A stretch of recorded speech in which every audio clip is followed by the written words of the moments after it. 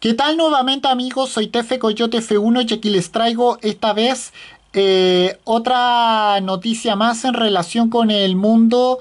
eh, del deporte motor mundial y bueno, ahora les voy a hablar del danés Kevin Magnussen porque Kevin Magnussen debutará eh,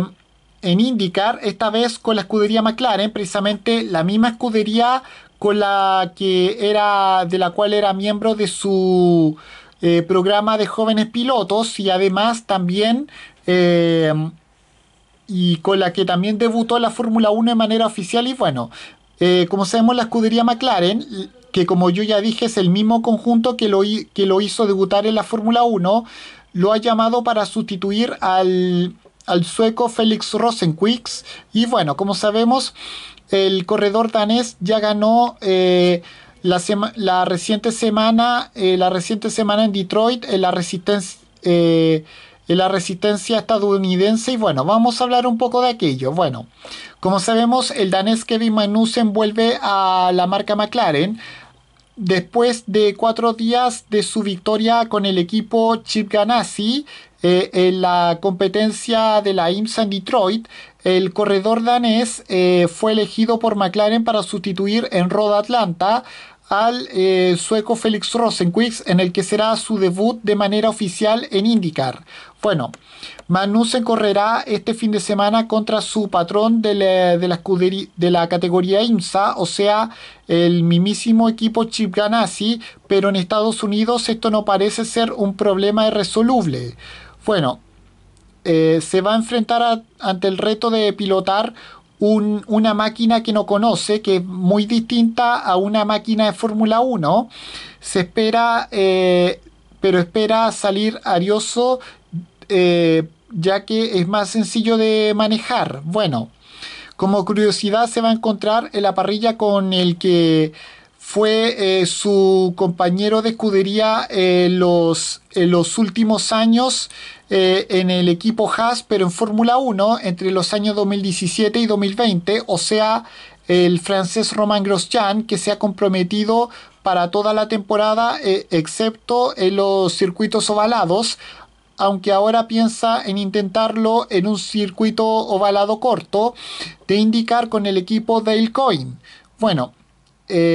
el mismísimo Grosjean se mostró eh, rápido, pero eh, es a quien le faltó fortuna en, instantes decisivos. Con ellos serán los dos suplentes que van a competir en el, en, el circuito Rodamérica. De una parte, Oliver Askew, que lo hará en lugar de Rinus Vickey en el equipo Carpenter y de otra de eh, el corredor danés Kevin Magnussen que toma el, eh, que toma el lugar de Rosenquist en la escudería eh, en la escudería Arrow McLaren SP, así se llama precisamente el equipo de Walking en la IndyCar. Bueno, se da la circunstancia de que en el reciente domingo en Detroit, Askew tomó el lugar de Felix Rosenquist en la carrera del reciente domingo, abandonando en los compases del principio. Como sabemos, Kevin Magnussen tiene contrato con la marca automotriz. Eh, con la marca automotriz francesa Peugeot para eh, el Campeonato Mundial de Resistencia y Le Mans a partir de la siguiente temporada. Y bueno, como sabemos, el corredor danés ya había, ya había competido eh, para la escudería McLaren, debutó con ellos en la Fórmula 1 de manera oficial en la temporada 2014 y de un modo bastante espectacular. Como sabemos, fue segundo en la primera carrera de aquella temporada en Melbourne en el Gran Premio de Australia, que fue la competencia de su debut, aunque en realidad entró tercero en la meta detrás de. Eh, eh, detrás de. Eh,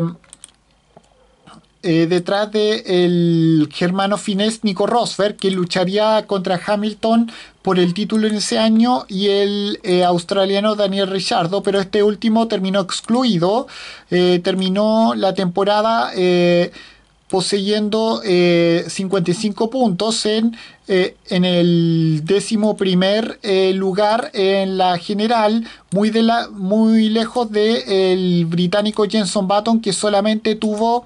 126 puntos. A final de año fue apartado del equipo domiciliado en Walking para dejar paso al bicampeón asturiano Fernando Alonso, en parte porque Honda que iba a aterrizar con sus motores en el año 2015 quería dos figuras dentro del equipo inglés y bueno, con esto me despido, adiós, que me fuera, chao.